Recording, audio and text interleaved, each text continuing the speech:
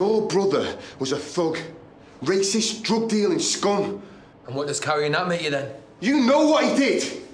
Giving lads free gear. Then suddenly comes and collects, making all these threats. Yeah, if you're dumb enough. My best mate topped himself. He was 18. Terrified of what your brother would do.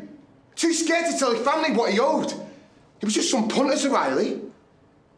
Probably didn't even know his name. And his name was Ben.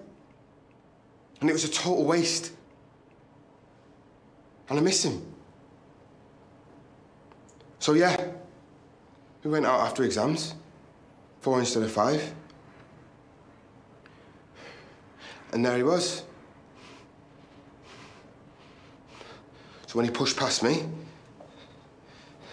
told us to go back to where I came from, I put his head into a wall. And my mates joined in. Mum makes me better than this. Rise above it.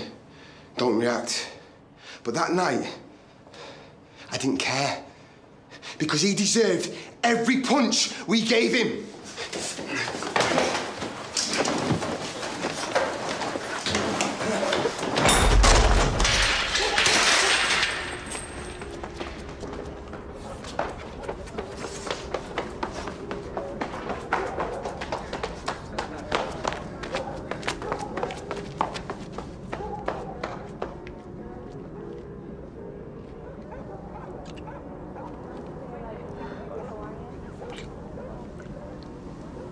I'm glad you left your coat.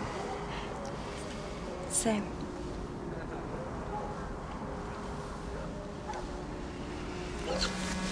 Oh, it was here the whole time. It's not your boyfriend or anyone, is it? Brother. Round the corner if I want a lift. Nice. Can I uh, swap him for mine, please? Don't get on. Nah, it's a long story. Look, I can, uh, I I can walk you to his car if you want. He's a bit overprotective. Better not. I had fun. Did I prove I wasn't boring? Mm, why didn't spend more time with you first? Better to be thorough about these things, you know? I look forward to it.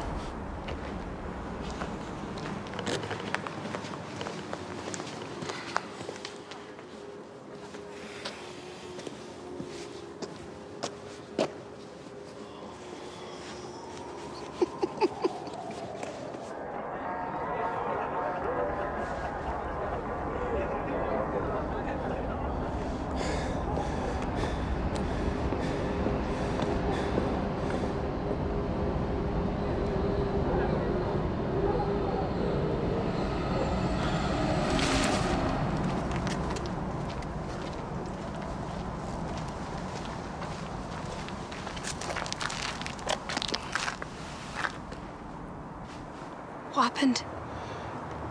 Lost him. He legged it.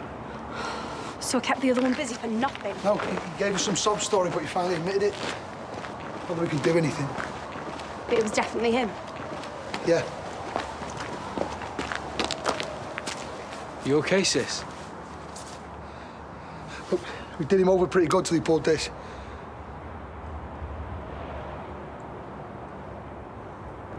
Ellis will still be back there, you know.